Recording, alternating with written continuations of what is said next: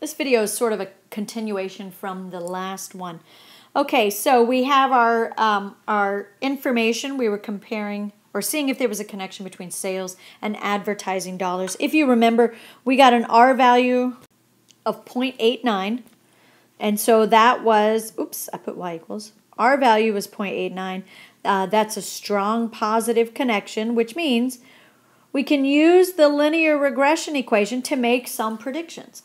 And so that's the advantage there. I should put strong positive correlation because it is a positive value. So I put that correlation, um, sorry, the regression line equation at the top of this that we calculated in the last video.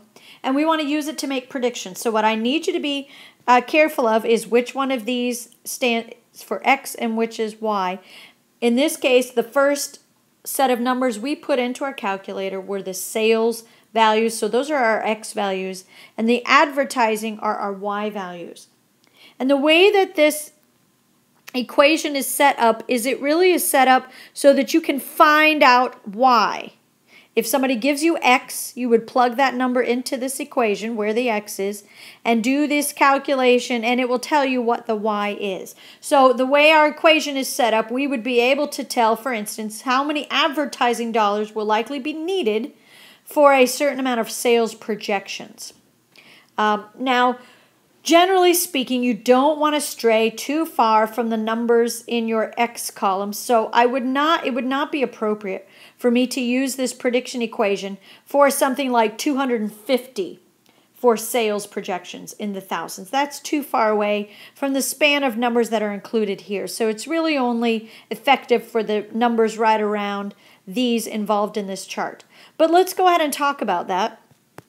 So let's do a prediction. Let's say um, I'm looking for sales projections for the following January of um, 125. So your book your book will say, um, you know, to be a purist, you should not go outside this list, but 125 is close enough that our, our projection equation will be relatively effective.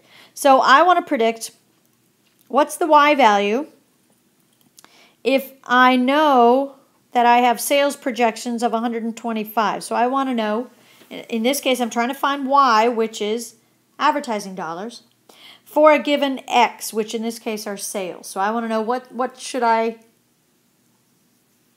what advertising dollars should I expect to spend so that I get 125,000 in sales. And so it's just a plug and chug, an old-fashioned plug and chug, as sometimes we say in algebra. Oops, sorry about that. I'm trying to move this, and it's all different pieces. So go back to your equation in purple.